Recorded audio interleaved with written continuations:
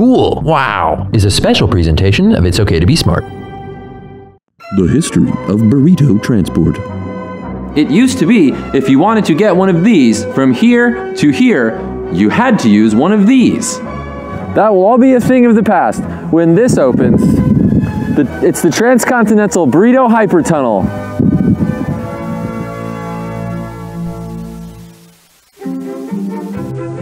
A tunnel, dug through the earth, zooming burritos from coast to coast in just minutes. Powered by nothing but gravity? It almost sounds like something that's completely made up for making an elaborate and overly theatrical scientific point. For centuries, subterranean gravity transport like this was the stuff of dreams, but great minds of physics made it possible. How does it work? And what does its future hold? We'll explore. One of the most monumental undertakings humankind has ever attempted, the fall and rise of the Burrito Tunnel, is a story for the ages. As civilization has advanced, we've looked for quicker and quicker ways to transport people, information, and everything else from there to here. And not just faster ways of traveling, but also faster routes between where we are and where we want to go. Columbus was just looking for a shortcut too, but what he found was the Americas, a land full of rich and vibrant cultures. Like the Aztecs, a people who had invented quite a few things of their own, including an ingenious way of making a meal easy to carry. The tortilla! Fast forward four centuries or so, and that wrapped up meal has evolved into this. The burrito, a self-contained meal in a flawless geometric shape. And the most perfect of these perfect foods are made in the Bordeaux of burritos, San Francisco's Mission District. Problem is, if you're in, say, New York City, how do you get one of these in just minutes? Forget about it. Science changed all of that. Not too long ago, you could get a hot, fresh burrito from around 3,000 miles away delivered to you in around 40 minutes. You may have heard of it. Mr. Roberts and the Burrito Tunnel, an origin story. In 1956, Duane Roberts had found success selling frozen burger patties to McDonald's, so he turned his attention south of the border for his next invention, the frozen burrito. Maybe you've heard of it. He realized there was money to be made if burrito makers on the West Coast could flash freeze their creations and get them to hungry mouths on the East Coast by using refrigerated trucks, trains, or planes. Or, say, using a burrito sized tunnel through the earth? Wouldn't that be something? Robert's idea was to use gravity to propel burritos through a deep transcontinental tunnel in a nearly perfect vacuum wrapped in special foil to enable frictionless magnetic levitation, allowing coast to coast burrito travel at speeds once imagined only for space vehicles. Sounds too good to be true. And it was until Mr. Roberts eventually built it at a cost of $420,000 billion. But first, some science. And to figure out how it worked, we have to go back to 17th century England. A guy named Robert Hooke wrote a letter to a guy named Isaac Newton. Maybe you've heard of him. They were trying to figure out what would happen if you dropped a ball through a hole that reached through the earth.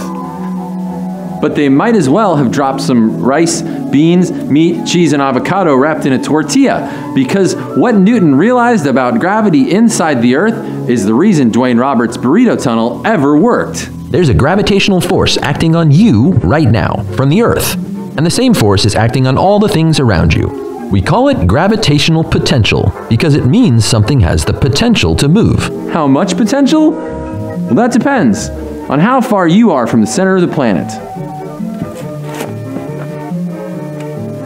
So if, if you dig a tunnel down through the center of the earth, like Newton and, Hooke imagined, all the way to the other side, and drop a burrito in, what would happen?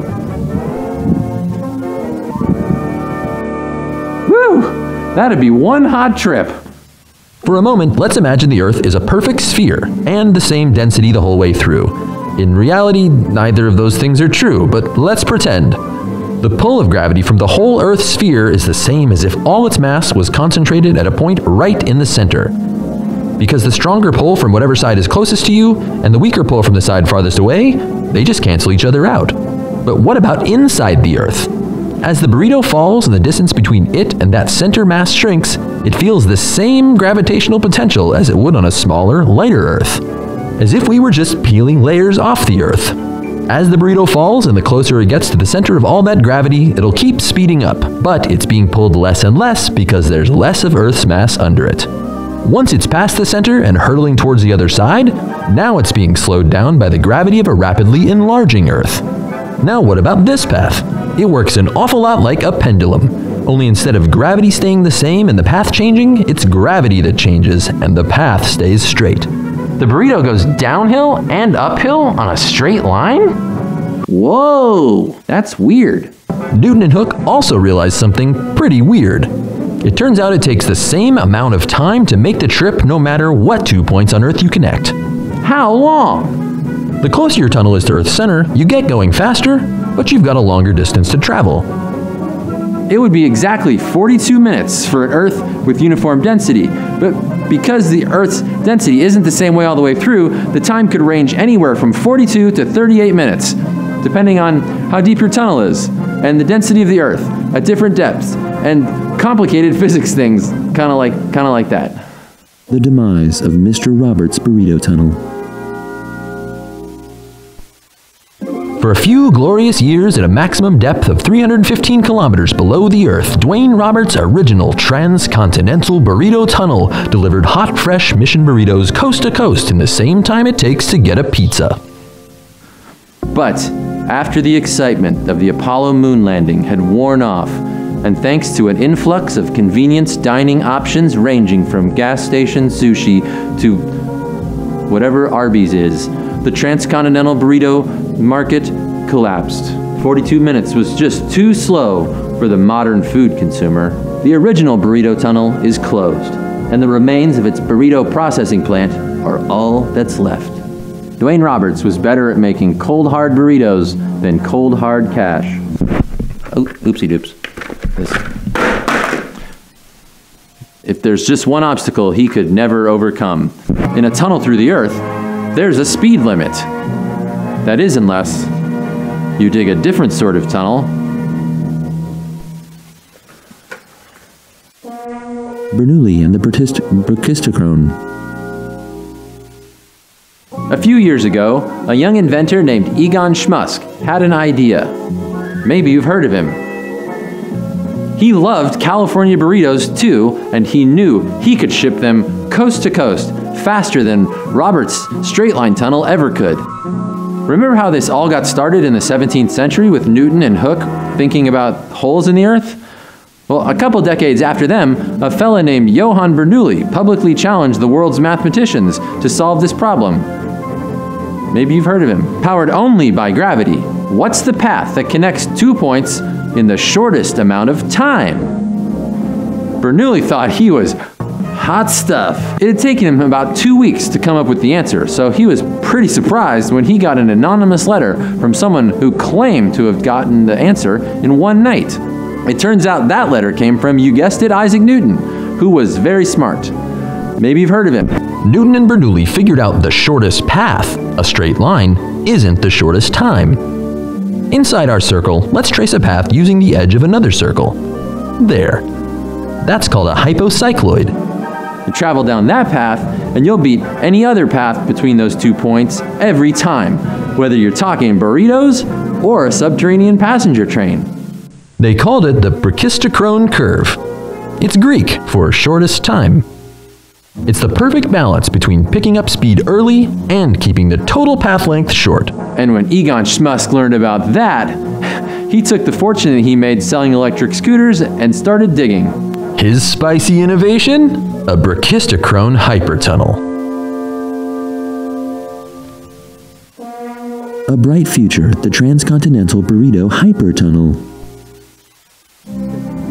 In two years' time, the Transcontinental Burrito Hypertunnel is scheduled to begin operation, and when it does, customers in New York City will be able to get burritos in just over 25 minutes time, all the way from San Francisco. Hot and fresh, warmed in their wrappers by the geothermal convection currents of our planet's mantle, and 17 minutes faster than Duane Roberts' burrito tunnel ever could. And fast enough for a lunch break in today's fast paced, virtual reality, internet, web connected, algorithm, computer, semiconductor, quantum, social media society. But it's not without its challenges.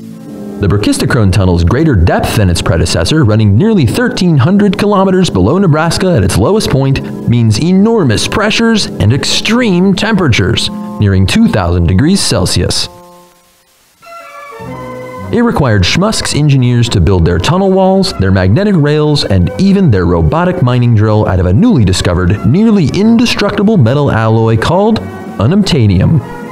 Invest in unobtainium. You'll be a hundredaire. So, what's next? Are Brachistochrone bur- burritos just another pipe dream? Or are taco tunnels on Titan next? Or maybe sushi on Europa? Well, that's the funny thing about technology. Often the right path i- isn't the easiest one. But with enough creativity and innovation and a big shovel, there's always light at the end of the tunnel. And also, burritos. Stay curious.